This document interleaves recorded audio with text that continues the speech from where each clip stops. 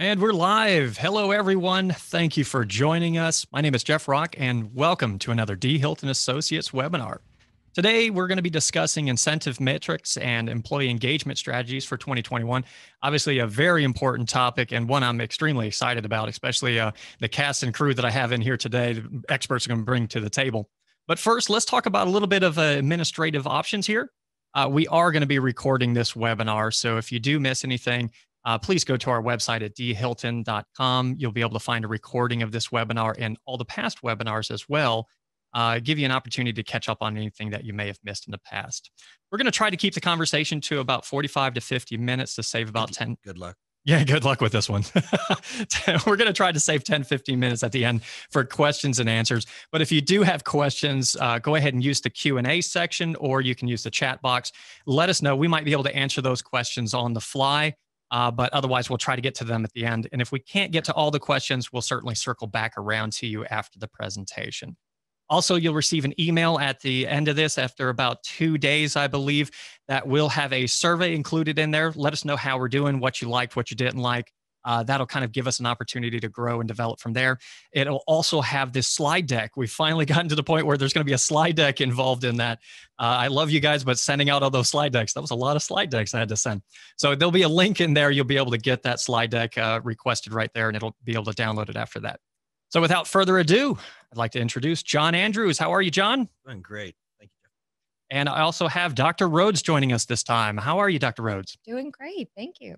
All right, John please take us away. I just want to introduce everybody to Dina. Um, D. Hilton doesn't work without data, and she is just a master of putting this together. So, you know, when I see something with a thousand dots, I say, well, what's the most sparkly ones, I guess? But you're, you're able to tell a story. And so we get the benefit of your knowledge today. So appreciate you being here and no pressure. Thank you very much, John. It's very kind of you. So, everybody, welcome to month 14 of 2020, as, as I like to call it. Um, today, when we, we look at the program, we're going to think of two themes. One is, you know, we just finished a round of incentive plans and what the metrics, how we're going to keep score in 21. I want to get that out on the table because it's not too late to, to, to modify things you might be doing. And the second thing is, how do we get um, this concept of engagement going and, and as we get to a new normal? And my definition of new normal is going to be if everybody gets a shot, you know, vaccine by the end of March, we got one new normal. If it's June, it's one. If it's next year, it's another one. So we're going to talk a lot about just being agile, being fluid in this, and, and how do we keep score. So those are two things I think you're going to get out of it today. Um, so our first topic that we want to look at is what what did we find? How did 2020 play play out, and what are the metrics people are going to use for 21? Um, on this slide, what we found are the, the plans that we, you know, we do a lot of incentive scorecard certification. We help people put together definitions of success. So what we saw, the average payout or accomplishment rate was 96% of target. That's about 10% lower than what we see in the last two or three years. So on the, the left column there, the payouts have been 82% at the 25th percentile, 82% of target, not 82% payouts. 91% was the median, and then 112 at the 75th percentile. So that 91 and 96 kind of kind of jive as the middle, and again, about 10% less than we've seen in the past. So I had a ton of meetings from the middle of the year till the end of the year in 20 and said, Hey guys, do you want to modify the plans? And only 22% of our clients adjusted their plans and only 5% canceled. But what was interesting as we went through these meetings in November, uh, December and January and, and into February, boards wanted to recognize and use discretion. So we have this balance of you don't want to change the rules too often, you know, because we've got this good plan, we've got education, we've got commitment, and then you know we don't want to just throw it up and do something else. But the three big things that people paid for uh, was under leadership under crisis.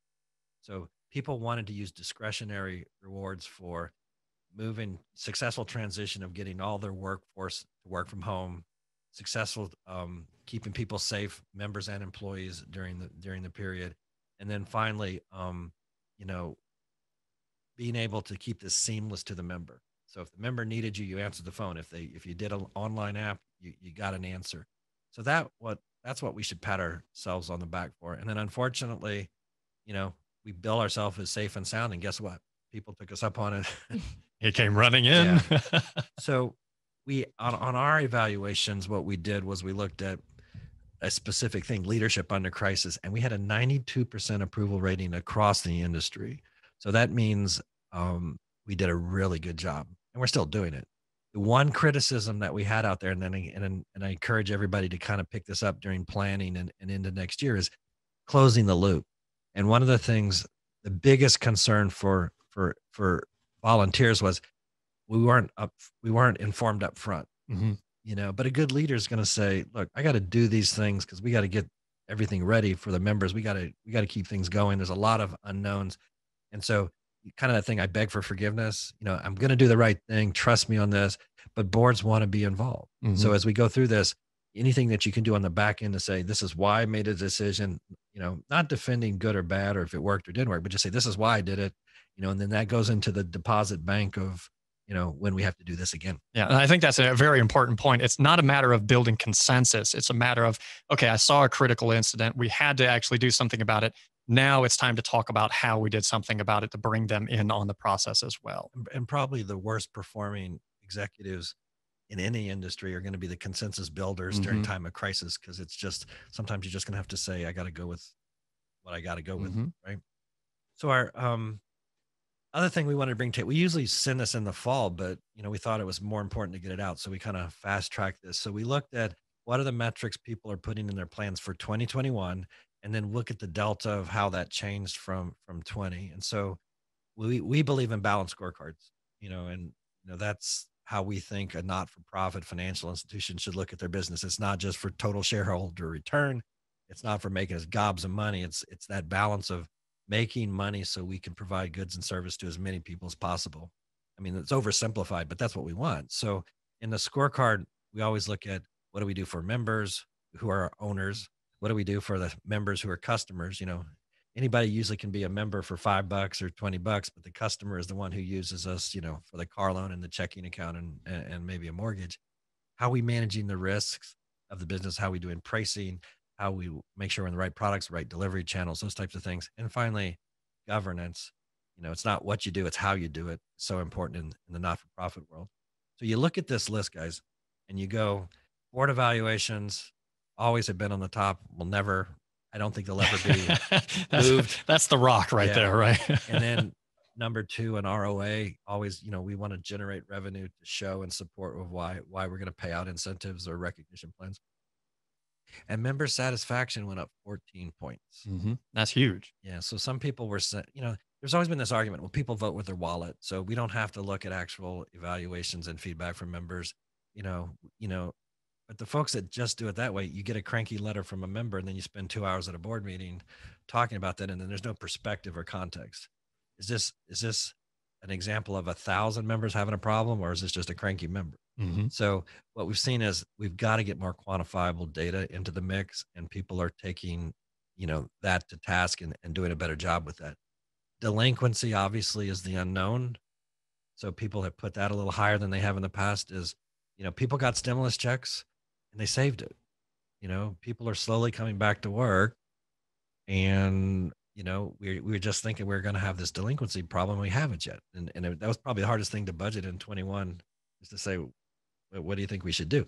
Every month, more information. Every mm-hmm. month it stays good. It stays good. Um, so I'm not going to go down the whole list. Uh, what I, what I was really happy with is we're, we're, we're proponents of relative metrics, not historical metrics. So when times are good and we all raise, so if you, if, if deposit growth was a metric and you grew 10% this year and you've never grown more than 5%, you could go to your board and say, This is the best year ever. You know, I'm awesome. but then if the market grew 12%, you know, everybody had stimulus money come in and people were saving. Um, then you actually lost market share. Yeah, relative. The That's relative, where we're looking. relative is the key. So you go down the list, and why I have highlighted in blue down there is you're not supposed to use loan growth and you're not supposed to use your CAMEL rating as as uh, incentive metrics and we have a few people that still do and there it is so i've done my disclosure will they come after you i don't know but at least i told you try to use something else um so so with that said other themes i wanted to talk about here is when you look at calibration of how you hit a target we don't believe in cliffs you know all or nothing. So if the ROA is 50 basis points, you hit 449. I don't think that's necessarily a failed Fail, yeah. year. So that you got to give a landing zone around close, you know, still good and close, but not just all or nothing. Mhm. And on the other side, when stretch, you know, this is not the time to be really pushing, pushing, pushing out there. So one of the themes that we've looked about is a little tighter calibration on threshold, target, and stretch of goals this year. Maybe we expand later, but this year I think it's safe to be let's let's try to manage to that to that that target more than we have in the past. Yep. Okay. And then the other one is, you know, when I was in school and in the 90s, I was in school a lot earlier than that, but in the 90s, this concept of economic value added. So came it came in the for-profit world, and it's just the concept of you're supposed to grow five percent or get a return on a piece of equipment, and you don't get it. You know, you're supposed to get ten percent return on that machine, and you get nine percent. You owe me a percent for next year, plus what you're supposed to give me next year. So a lot of times in credit unions, we start over. You know, like oh, we'll get them next year. So what we've seen is you know just have the philosophical discussion if you're in the middle of a five year plan and you're and you've got a growth rate you know and and this year is not where you want it to be do you just start over or do you say you owe me the the delta from last year plus what uh what we were supposed to do this year to keep on track i think it's a really good discussion there's not a right answer to that Mhm. i think you, you know you owe the organization to say how do we get back on track It comes down to that business strategic decision that you need to make of the direction moving forward. because if we change the rules too often, okay, we'll get them next year. Okay, we'll get them next year, and we start over. That becomes um, that that that leads down a path of we're not going to be the strongest organization. Mhm. We're not going to differentiate. You know, we're not committed to that excellence. Kind of goes back to managing by crisis at that place. You're not really Yeah. being strategic per se. You're just managing, okay, well, now we got to do this different. Exactly. So when we look at the for-profit world and we look in the boardrooms and we look at uh, the SEC documentation on, you know, they're having to do a boatload more stuff and tell their shareholders what they're doing, in the committee probably said, "Why did I take this job?" because they pay you a lot of money. That's why. Give you a lot of stock. But the three things that they're working on in 21 is executive retention. And, you know, we're not the only industry that has supply and demand issues at, at the top. So when they're looking at their compensation, reward recognition programs, they're definitely looking about how they tie re- retention into that. In the credit union space, that's always been, you know, supplemental retirement, longer term arrangements to make sure people stay. And then the second thing is in enhanced governance, simply meaning uh, people we're going to be accountable. You know, people are going to start snooping about what we did and why we did this, and we can't. You know, Aunt Myrtle can't be the marketing person and get three times as much money as everybody else in the industry because they might ask questions about. That. So we've seen that, and and what we've done in our practice is trying to use those SEC standards of how an exec comp committee uh, documents and and and presents its information and that and and use that caliber that benchmark of how we do it. Nobody will ever see it but if it ever happens down the road that we have to you know the 10 billion dollar club and above have to do more disclosures and and there's more peeking of what we do. Mhm. so we're ready for any of that. So again how we translate what the the for-profit world is doing let's let's do more of that making sure that it is we're accountable it's transparent we're using good data and we're doing pay for performance. And then finally the pay for performance alignment. You know if if we're going to pay out money and there are big packages out there that we they know why you know it's a regulator it's a member if it's an if they're looking at a 990 you know that they know it's why why we're successful is because of pay for performance. Mhm. okay. So kind of our our next topic is uh, engagement. And you know that's one one of dina's gosh that's how long have you been working on this A few years. did i did i ask an inappropriate that was the perfect uh, Yeah. PC answer there. Well, it's been a while. That reminds me. One time, my uh, daughter she went to University of Oklahoma, and we would we'd drive. One time we were driving back from from Houston to Oklahoma, and I fell asleep and let her drive, and she was going 95, and it was it was a Jeep. It was a nice ride, so I was you know a little bumpy, and I go, Catherine, how fast are you you driving? And she goes, a good amount. We'll just we'll just leave it at it's good. Yeah, It's okay. good. Okay. So anyway, I'm gonna turn it over to Dina and talk about this next. Sure. Okay, so now we're going to segue into how to engage employees, especially um, during this period of uh, dealing with the pandemic. So, first of all, let's make sure we're on the same page as to what is engagement. Um, people tend to use a variety of different definitions. So, engagement is basically a positive, fulfilling state of mind uh, where employees are working at very high energy levels, they're dedicated to job task, and they are completely engrossed in the work that they're doing as if time is flying by. Can you guys hear me okay? I'm getting the signal. All right. So um I was so excited she used plethora. So when we did the run through of this, I go, I had a professor in, in first year of, of graduate school said, there's only two words you need to use to impress people plethora and paucity. So you're halfway there. I'm glad I made the checklist. But please try to get paucity in there by the end. we'll drop a dollar word in there every chance we get. Yeah, there you go. Next will be cornucopia. We've got. Am going back to the previous slide? I'd oh, like to yeah, talk about sure. some of the benefits that are actually associated with an engaged workforce. So if you have engaged employees, um, this is associated with higher levels of job performance, productivity, um, higher organizational commitment. So employers are more likely to stay. You avoid the costs associated with turnover. And employees who are engaged also have higher levels of intrinsic motivation, which is very important. So they're really enjoying the job for themselves um, as opposed to other things like the pay. Um, and another important factor about engagement is that your members are also more satisfied. Members are more engaged themselves. You have increased member loyalty when you have engaged Them. so, as John mentioned, there are numerous benefits associated with a plethora, a plethora. workforce. A yes. veritable cornucopia. I'm, sticking with that one. Cornucopia is not going to happen. Jeff. Oh, come on. Stop on. trying to make that happen. It's 2021. We got a new, d- different direction. Plethora is yesterday. and I think you make a, a really, really great point about the intrinsic portion of engagement because when it's an intrinsic thing, it's not something that you can actually buy. You can't uh, incentivize that out of people per se. It's something that have to be invested. It's something they have to give. Uh, so using those strategies to be able to put those pieces together to pull that intrinsic value out, uh, that's going to be a big key to a lot of the engagement pieces.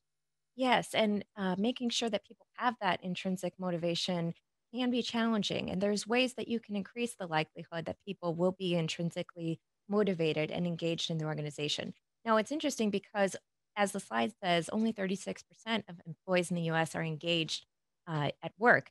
Now, this equates to about 95 million employees who are either indifferent or actively disengaged. Um, is that self reported or is that um, like self reported? Okay. And fortunately, in the credit union industry, engagement levels are a bit higher, about 66%, according to uh, a 2020 Qualtrics study, which is also consistent with our peer data. Now, this leads to the question of what motivates employees uh, or drives employee engagement. So, some employees are just naturally more likely to be engaged than others due to their personality. So, for instance, employees who are more proactive or ambitious, conscientious, extroverted, or just have a general positive affect, these employees are more likely to be engaged at work.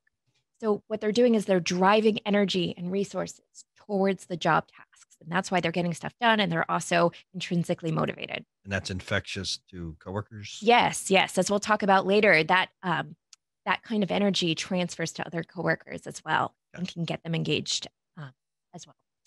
And job characteristics themselves are also incredibly important for motivating and engaging employees. So, for instance, do you have the autonomy to carry out work tasks? Do you have a variety of skills that you're able to use on the job?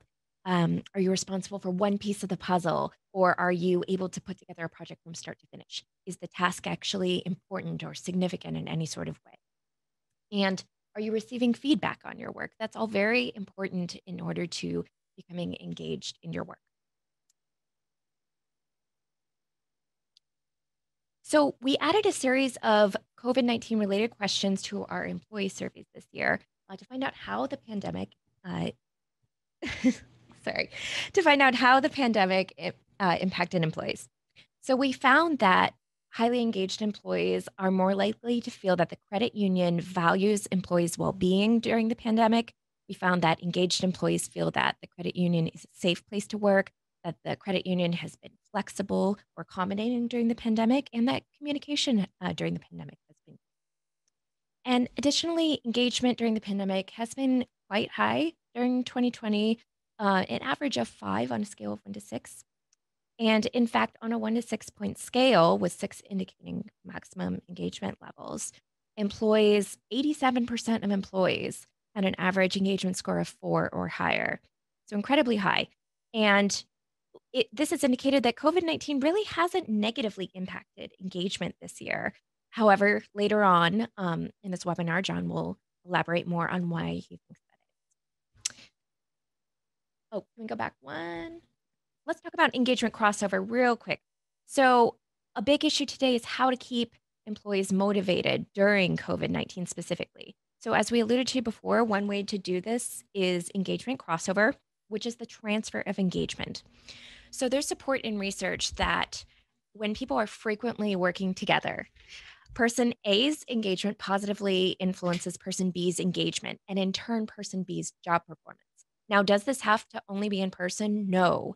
Research suggests that this can be over email, over the phone, or any other method. It does not have to be face to face. So, as long as you're keeping up those frequent interactions, you can uh, transfer that engagement to other coworkers. Yeah, and, and the frequency is going to be the challenge. I mean, yeah, we had a spike at the beginning because everybody was trying extra hard to communicate, connect, and then you know, yeah, stuff happens. The dog needs to go out. Uh, you know, the kids need to be tutored, and you're trying to do this from home. You're trying to do it within retail hours, and it it, it became a lot. Mm-hmm.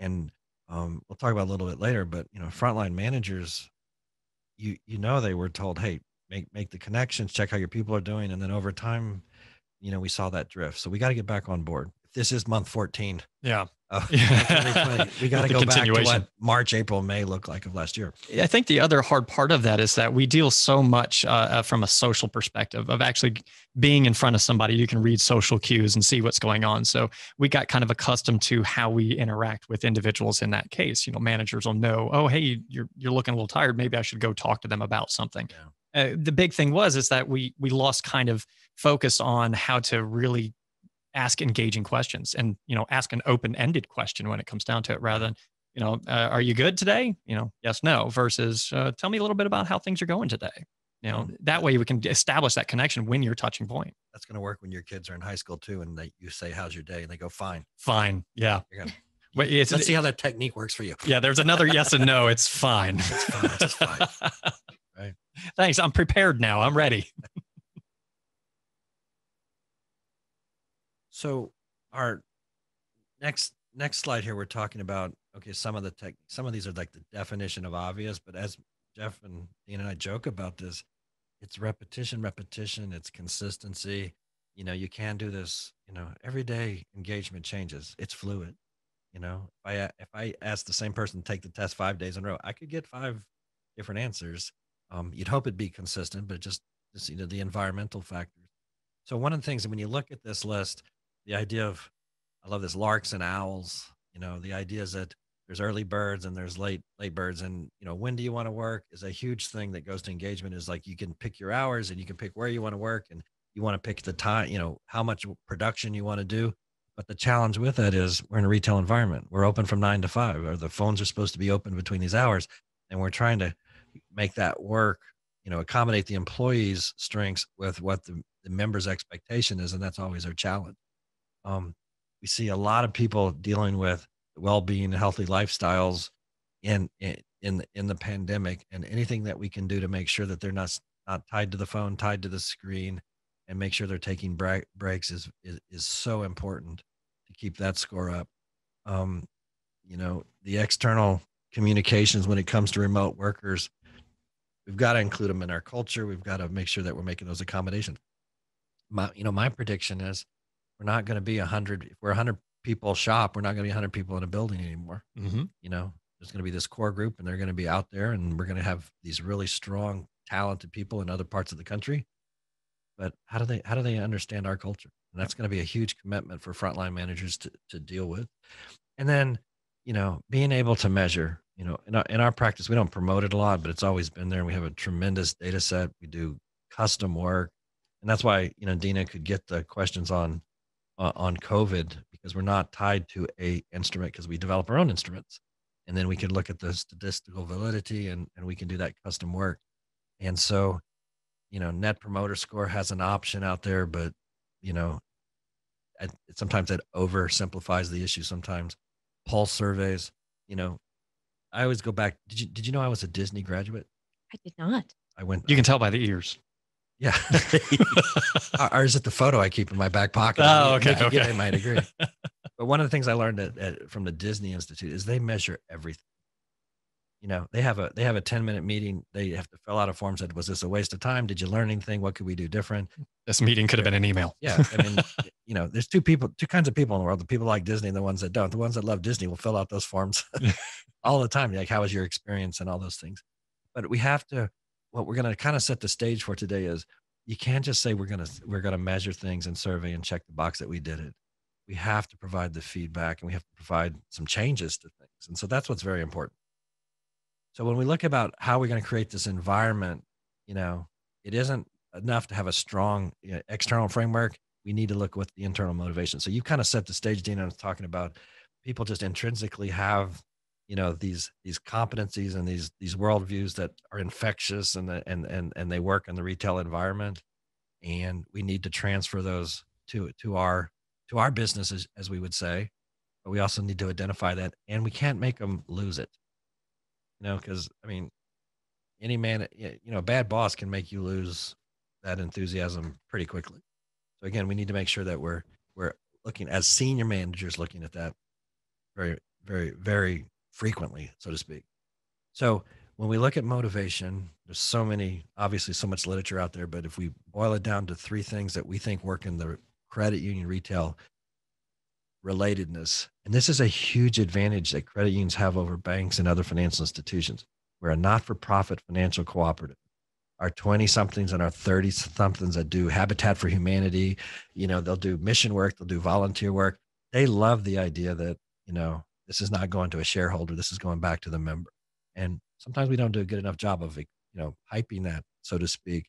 But if we walk the walk of that, you will have engagement. You will have people stay longer because they understand there's a purpose for that work.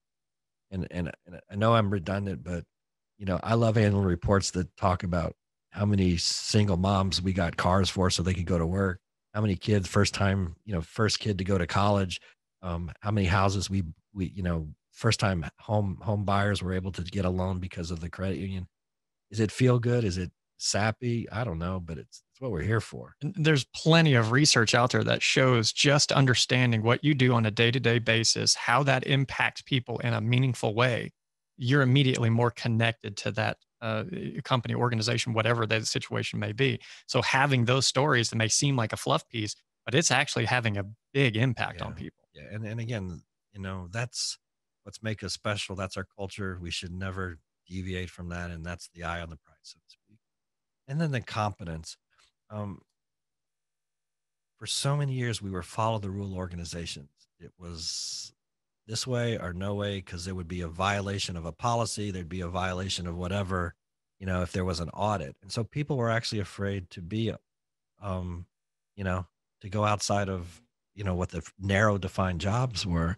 And I think the more that we can hold people accountable to do the right thing for members, we're going to be successful. Um, that's why I always mention the Nordstrom Nordstrom's employee handbook. It's like two sentences like do what you think's best for the customer and if you have a question ask your boss. You know, while we're developing thousand page tomes on what you can and cannot do and they're just saying, "Hey, you know, customer's going to need you if you can answer there's going to be higher mm-hmm. satisfaction mm-hmm. rates they're going to use our store more and they just see that as a value chain. And then autonomy.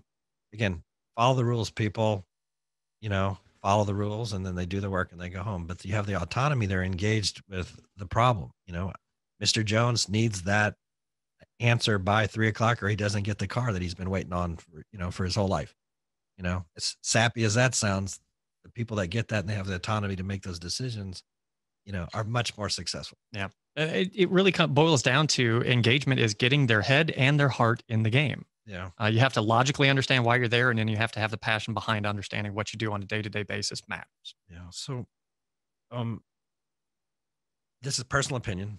So put put that. I in. got the mute. Hold on. Go yeah. ahead. uh, the hardest job in a credit union is a frontline man. Mm-hmm. You know, you start with your managing your buddies. You know, you used to be one of the crowd, and you you know, you've been promoted, and now you have to tell them to follow the dress code and show up on time, and you know, you're not doing this correct. And but that's not what makes it hard. What makes it hard is you've got these groups above you saying two things: follow the rules, follow procedure, um, don't deviate, because that's how you're going to be held accountable. And then you got people below you, two groups treat me special, name not a number, make an exception for me. And you know who that is? That's members because they want to be special and employees. They want to be special. And you're in the middle trying to make these two conflicting, you know, strategies work. And so during COVID, that frontline manager was just stressed out mm-hmm. and still is to a degree. But again, how do, how do we get that that person to feel good about that and maintain our culture, do it in a different operating style, whatever the new normal is going to be. And one of the things that that we've had as a product for a long time is a kind of a I call it a new normal performance management system. In the old days, you know, it's just classic, right? Set some goals, give them some feedback or don't give them feedback and then do once a year saying you're good or you can stay or you probably getting no raise and you should leave. And then people were in the dark for so much of the time and you know, everybody's had a bad boss in their future in their past and you know, don't don't uh, like dealing with this. And so as we re-engineer what's going to be you know reward recognition in a new normal you know how do we look at it mm-hmm. you know and so this idea of it you know we need to be agile maybe the goal we start off january 1st is not the goal we have december 31st we've got to have ongoing cor- conversations with folks to see how how fluid it actually is you know and as soon as you say you must talk to your employee weekly guess what you know you cross your hands and you go another thing they're making me do. just got to be organic, mm-hmm. you know. And I, I, think I've told this story before, but it's it's just one of the most things that left an impression to me. I got to go to um, Michael Jordan basketball camp, fantasy camp, and I got to talk to all these legendary coaches. And one of the coaches, Hubie Brown, said every every time before he had a practice, he went to every employee, I mean every of his players, and said, "How are you today? You know, you having trouble with." your girlfriend, your wife, you know, the decorator, uh, your endorsement deal didn't come through, your contract is they're sitting on it. And then he would talk to his assistant coaches and get a read from 15 to 20 guys, whoever was on the team, and say, Today, we can't even practice. Go Today's home. not the day. Today is not to learn anything new. And then today is wow, everybody's heads on right. Let's let's try something new. And that's what we want in a frontline manager. So now you're remote. You said it earlier, Jeff. How, how do I look at those visual cues and mm-hmm. you know what's going on in their life. Some days it's not today push the goal. Today is to get through today, and then maybe tomorrow it's once we feel good about that, then we, you know, go for that ultimate. So anytime we we force it, you know, it's just got to be organic, so to speak. Absolutely.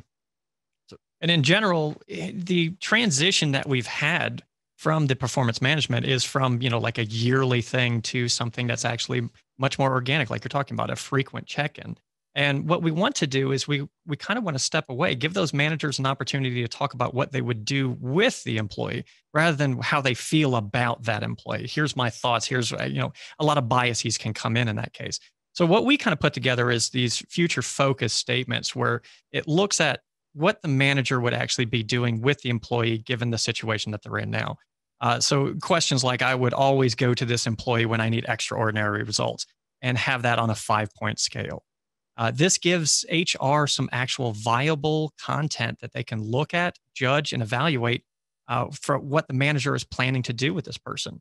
Uh, so it's very simple, it's very straightforward, and you can get to the answers to these questions in organic matter. It's not a matter of checking, okay, I've got to go at question one, I've got to go to question two, question three. It's when you have a conversation with your employees, these are already in the back of your mind. You know that, hey, I've been Zooming with this employee most times. When something goes wrong, I go to this person. You've already answered that question. You already have that response. So it's not a matter of sitting down and having to have a performance review. And the same things hold true. So basically, you can get to the core of what you would want to do with the employee, how they're doing, and then give them a rating based off of just four questions. You don't need that tome of uh, a tactical manual, so to speak, of they did this little thing great. They did this little, and they need help here and they need help here. This gets to the core of what you're planning on going there and puts it in a forward, uh, future focus perspective. And I think the, the, the biggest thing there is the, that last question there uh, once you've talked about what you plan to do with that, if uh, another important question is, if I could, I would promote this employee today, scale of one to five. So after you've talked about that, you say, okay, how, what can they do in the next 90 days to improve? Where can we go from here? It's not talking about, okay, what you did in the past, this is what we don't want you to do, or this is the things that didn't go well. Let's talk about, okay, moving forward, let's see what we can do. And here's our plan in the next 90 days the, the genesis of this concept came from one of the big accounting firms. You know, a few years back, they looked at, they counted all the hours that their supervisors and managers were doing on performance management, and they go, these are hours we're not billing clients. Yes. so there, there, there wasn't an altruistic need to be better with our employees here. It was just like, we got to get these hours back somehow.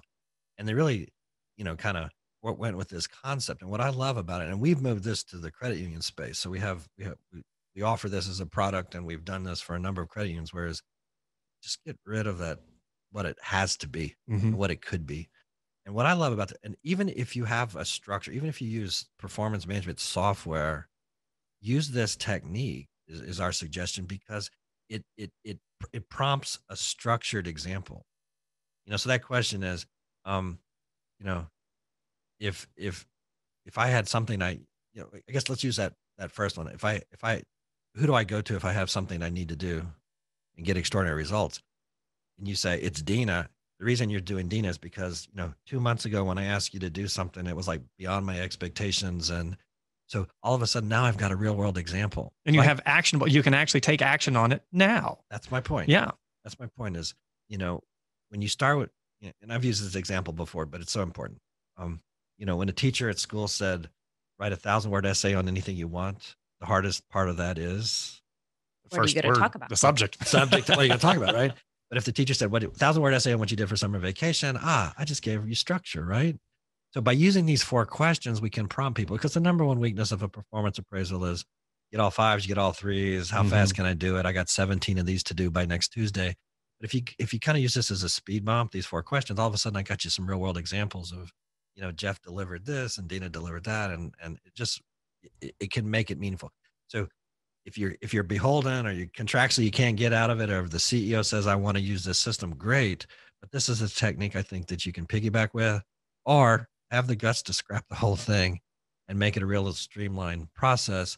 And I guarantee you, you'll save some hours from your manager's uh, you know day and, mm-hmm. and, and get that engagement up. And maybe all this stuff works in a remote workforce as well. Yeah. I mean, it's like we've yeah. kind of we saw this coming. I don't know what happened here, John. Yeah. We planned ahead for this because it is quick, it is fast, and it actually builds a good relationship because you're having a true conversation with somebody.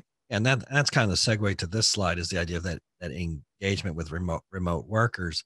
So the chart's a little complicated. I hope I say it right. So help, help me guys. we'll keep you honest over here, John. So that see this the orange line if if you're working with us in color today. that that's that's an employee that's that's outside of the office or working remote at least 80 to 100% of the time. So that's kind of our heavy, heavy person that's gone.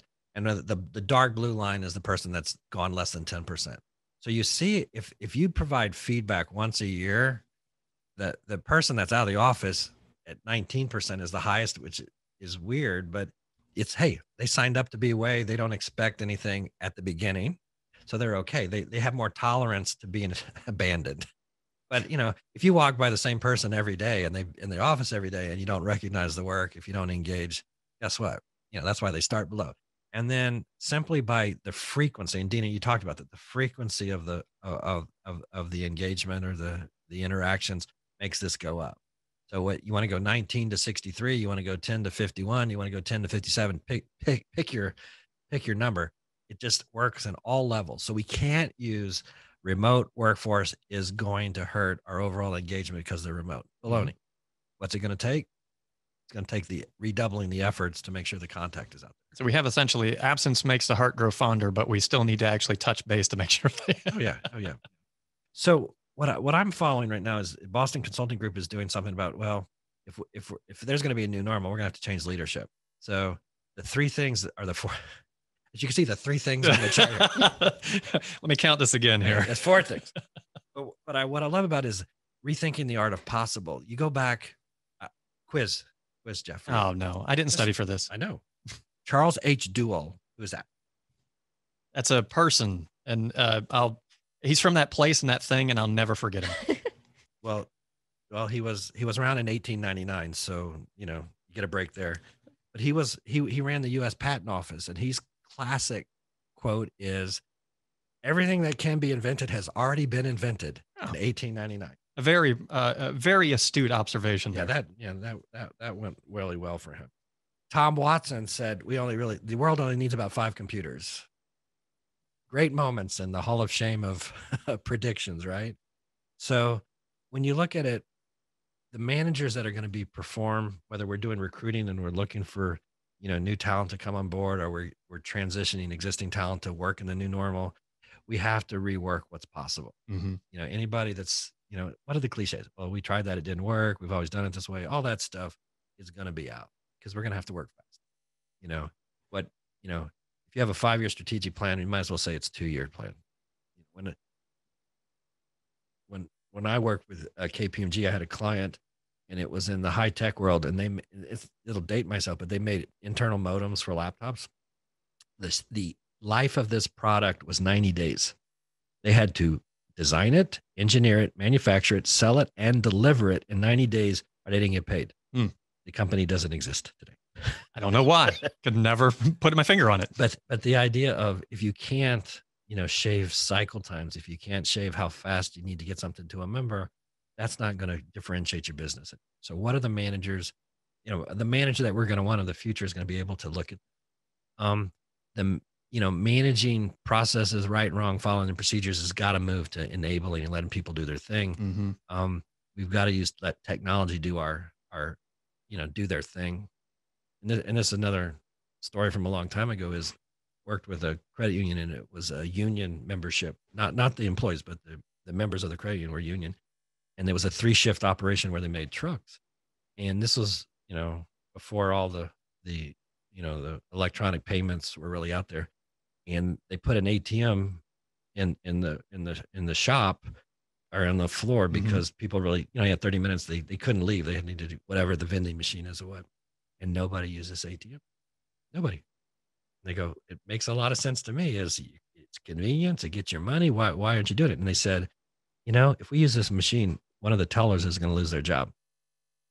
So out of solidarity to, you know, fellow workers or, you know, they, they didn't use the technology. So anytime we look at technology in the credit union space or the fintech space, we're not replacing people. Mm-hmm. We're just dealing with more volumes. And maybe the job changes, you know, but it's not because we're going to have less people.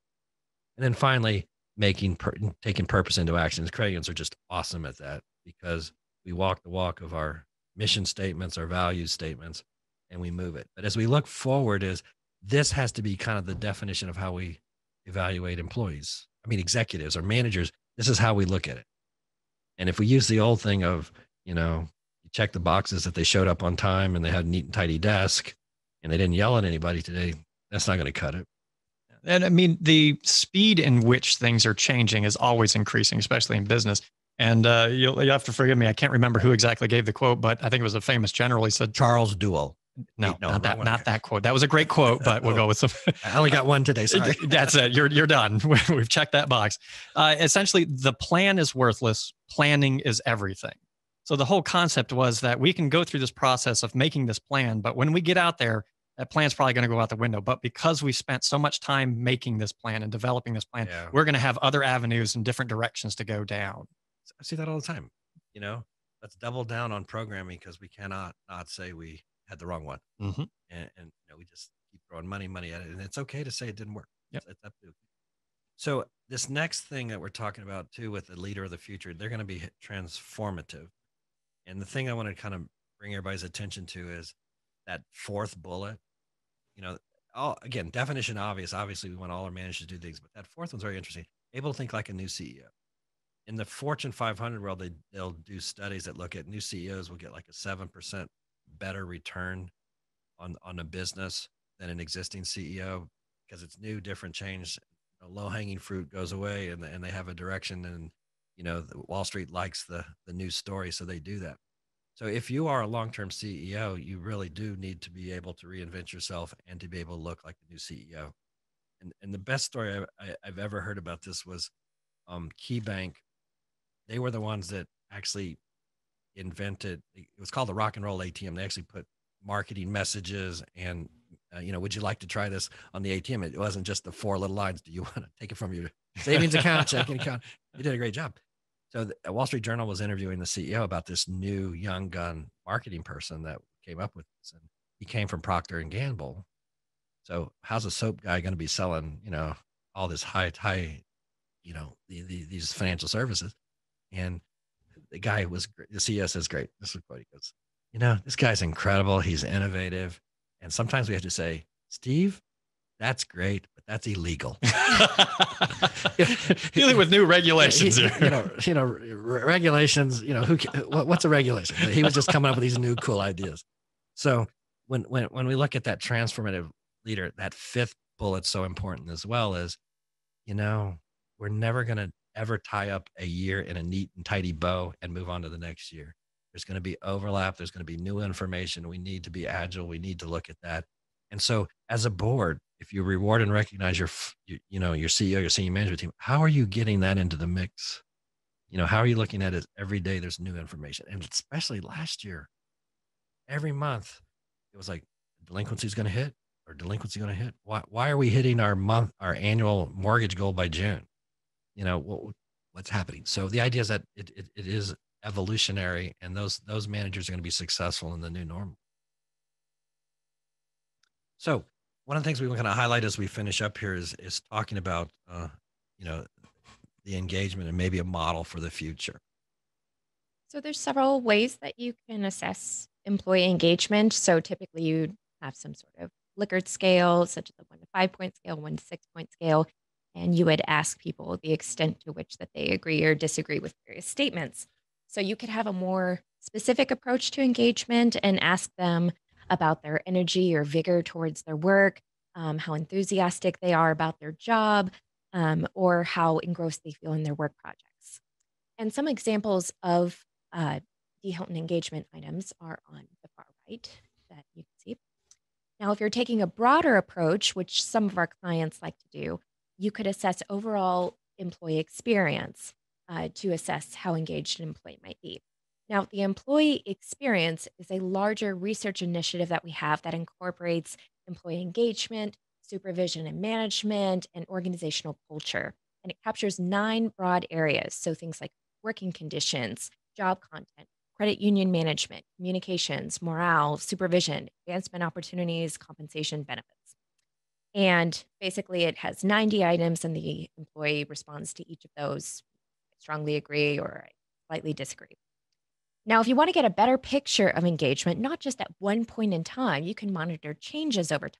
For instance, assess, uh, take an engagement poll every every six months or a year, and see how that's changing. Now, you can also compare your organization relative to peer and see if anything needs to be done in terms of overall engagement or the entire employee experience. So, so Dean, one of the biggest pushbacks that I get from clients is, you know, I guess I'd call it survey fatigue. Why how, why do we do this every quarter? Because we don't have enough time to move the needle, uh, put things in place. But I think what's what sometimes we're missing from that discussion is people want to want you to ask them how they're doing. And this is a tool. Do you need to do 90 questions every quarter? No. You don't necessarily need to do 90 questions. However, you would be shocked at how quick it actually takes. I mean, if you're assuming uh, three to four seconds an item, 90 questions I'm will slow. zoom by. Think about your questions, so, yeah. So slow. so 90 may seem like a lot, but it really doesn't take that long. As far uh, as yeah. repeating the questions, we want to be able to go back in time and say, hey, on average, people are feeling this way about this particular item, or um, you know, here's their level of engagement and how it's shifting. Yeah. Now, what if something important in the organization happened that drastically affected engagement? So we have a new CEO or new management or you know, a, a uh, new Well, you know, you know, the biggest one I get is like we just changed core software and everybody's been working weekends and nobody was allowed to take vacations. Let's do not do an employee survey now because the results We're not going to get good results, Yeah. right? but that's the time to vent and hear the true, true uh, Time true to take perce- action as well. yeah, you can yeah. find out where some of those fires are. Yeah. Well, that's actually why we were very curious to see our engagement results in 2020, especially with Oh, the yeah, yeah, yeah. Pandemic affecting people. We were curious to see if engagement means would be significantly lower ge- to compared to yeah. past years. And we're going to get to that slide coming up in a bit. So you're just going to have to hang on to the edge of your seat. Bated breath. I'm, I'm in charge of the button here. I can go there anytime I want. Y'all, y'all come along for the ride. we have, have given wait, John, John. You're going to have to wait. We've given him way too much power. Exactly. exactly. So we wanted to show you some of our infi- our findings from uh, our peer data set regarding engagement, and we surveyed, and I was uh, supposed to say nearly twenty thousand employees, nearly twenty thousand from almost fifty uh, different credit unions. Apparently, that sounds better. with a response rate of approximately 81%. And we found moderate to strong relationships with engagement and numerous elements of the employee experience. So, specifically, as engagement increases, employees tend to be moderately satisfied with their working conditions, communication, uh, their pay, benefits, and uh, they're more satisfied with the credit union's pandemic response. And we asked survey questions about whether employees expected to be working for the credit union 12 months from now and whether they think of working anywhere elsewhere. And what we found is that more engaged employees are much more committed to the company and significantly less likely to leave compared to less employed, less engaged employees. So, and then we also found that the strongest relationships tended to be between engagement and job content supervision, management morale, and overall job satisfaction. Now, what does this mean? that means that not just the conditions of the job, but yeah, also yeah. the relationships with other people, such as superiors, have a large impact on how engaged employees are in their jobs. And that's what I'm so so worried about that remote workforce is there's no you know a virtual water cooler is different than you know an actual water cooler going to lunch together and that's as we plan for the future that's where you see a lot of people trying to make those investments to make it as the new normal as as much as possible because that's so important to this overall score. Yes, and checking in with people. Okay, let's see. Who has the controls? I'm not. I'm not changing. I'm. I'm on strike. Quite frankly, I'm not changing any more slides. yeah. there we go. Okay.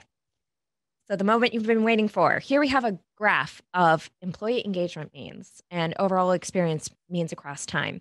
So, as a reminder, engagement uh, was rated on a one to six point scale, with higher means being indicative of greater engagement.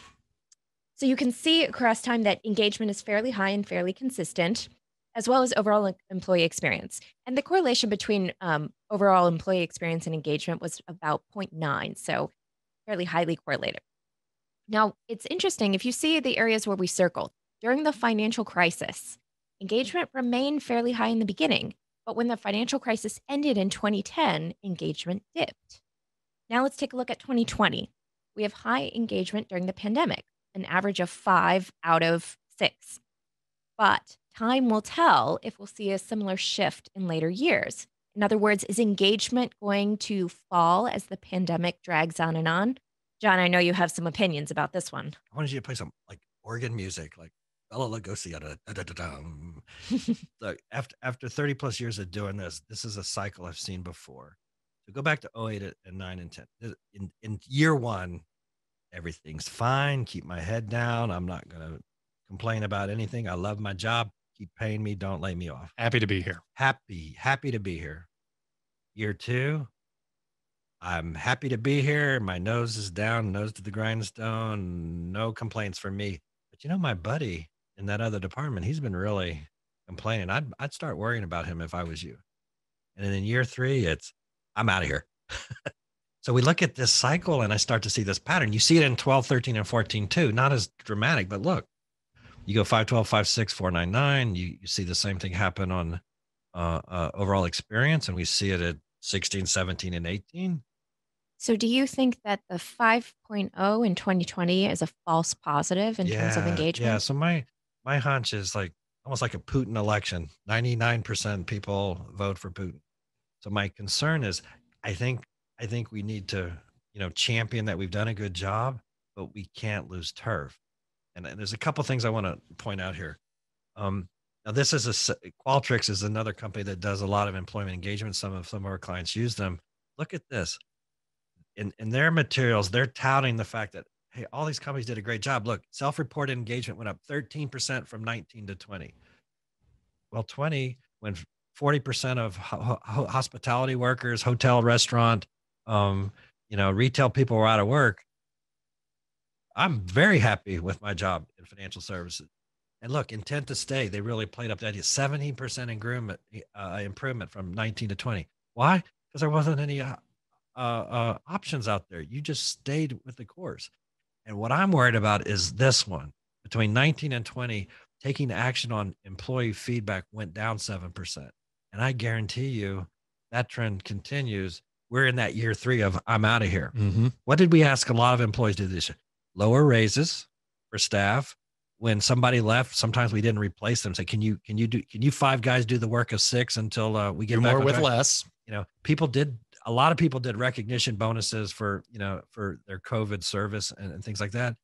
But there's kind of a promise to pay down the road mentality. Like we're going to take care of you. And so we saw in, in you know, I'm go back in that period, you know, eight, nine, and 10, we didn't get back to them. You know, some people did, but collectively, and then that's what we had the turnover. You know, that's what I'm worried about. That's what the message was today is if you're going to ask people what they think or how they feel or what they want, and you don't provide feedback, we're going to go back to this pattern. And then you're going to wonder why you can't keep people in the seats. That's think, my concern. I think that makes a lot of sense. You have to be able to act on people's constructive criticism. Otherwise, they they're going to think that the surveys are just uh, because you have to. Yeah, you know, one of one of first surveys I ever did was uh, the, the branches c- complained that they had to share restroom facilities with members, and it, you know, like, come on, no big deal. You you need it a couple times a day. Why is it? But as soon as they they reconfigured branches and they said an employee only restroom facility, the numbers shot up. They didn't pay them any more money. they didn't. Yeah, they they didn't get any group hugs. They just got a restroom. You know, simple change, simple change. and it made a big impact. Number one, number one employee benefit. Jeff, here's a test. I'll bring it on. I don't know. I'm waiting for it. Ice, ice machine. Oh, clearly. I mean, that was top of the mind. I was ready for that one. you, you put an ice machine in, everybody, everybody goes happy. I see. That's why we have that Opal ice machine, right? The the good, the yeah. Chick Fil A ice. You, oh yes. but uh, it, as we wrap up here, um, the the engagement drivers, the things that that we do really well in credit unions that you know for profit companies wish they could do, sense of belonging, the corporate social responsibility. I mean, Wall Street is having to make for profit companies deal with diversity, inclusion, and social responsibility, and we've been doing it since day one. Um, career goals is probably the toughest one to deal with. You know, we're big credit unions in a lot of places, but we're still small businesses. We don't have a lot of artificial layers. I saw, in, in, in, you know, you know, remember the high tech technique of giving people sample. Um, they can come up with their own titles. Ah, uh, yes. You want to hear the best one I heard I, last week? We do have a wall of these, so yes, this, this is going to be added. Chief elbow rubber. Absolutely. And I go, is that a, am I creating a hostile environment by even saying that? we have a CER. We're not supposed to rub mitten, rub elbows. We're not supposed to do that. And then it was like he was the hobnobber. You know, he was the one that was supposed to go around and say, make sure all the customers were good. But I go, I don't know. That was a little different. So as we go through this list, um, we do a great job as a Craigian. The thing that I want to take people to take away today is, guess what? Close the loop, give that feedback, take action on these surveys, and feel supported in these changes because the new normal isn't going to be a change right? So, um, last slide here, we talk about the opportunity, and, and again, just reinforcing this idea. In 2019, with the Qualtrics studies of 63% had the opportunity to provide feedback, it went to 51% in 2020. And I had a hunch that people said, "Not now. I'm busy. We've got to save this organization, this company. Um, you know, just do your job and let's get through this."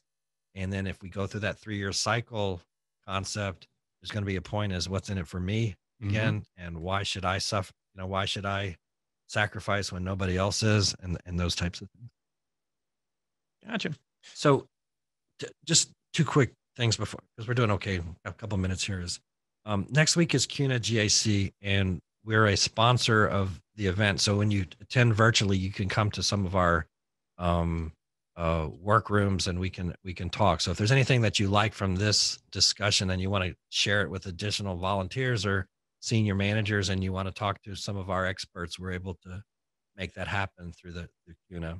And then the second thing is on March 11th, the, our webinar is going to be about um, a, a manual for the new CEO. So you know, there's a lot of businesses where a first time CEO doesn't make it out of 90 days or six months So this the program will be how to put an onboarding concept together to make everybody successful, and there'll be a derivative of that is that we bring senior managers involved as well. But just coming from a governance perspective, how can a board, you know, set the stage for success, and how can a new CEO set realistic expectations going in? So those two dates next week, see us at the GAC, and this will be the second one I've not been there in person in 34 years. So so you're st- this is now a, a new habit then. You know, anything done once is an accident. Anything done twice is a habit. I've done it twice now. well, it looks like we are right up against it. So we're not going to be able to get to the questions that we do have, but we will circle back to you on those questions. Uh, looks like just a couple of them that we can fill in there. Uh, so uh, look for an email uh, in the future about that. But uh, again, these uh, this webinar has been recorded. So if you missed anything or like to hear anything again, it'll be posted on the website in about three to five days. Uh, also, look for a follow up email that is going to show uh, the slide deck will be able to be downloaded, as well. It'll have a survey in there. Let us know how we're doing, what you liked, what you disliked, so we can grow from there. Uh, so, without further ado, John, thank you so much for your time. Thanks, Jeff. Dr. Rhodes, really do appreciate you joining us today. Thank you. Everyone, please stay safe and healthy, and we'll talk to you again on the next one. Stay safe, everyone. Take care.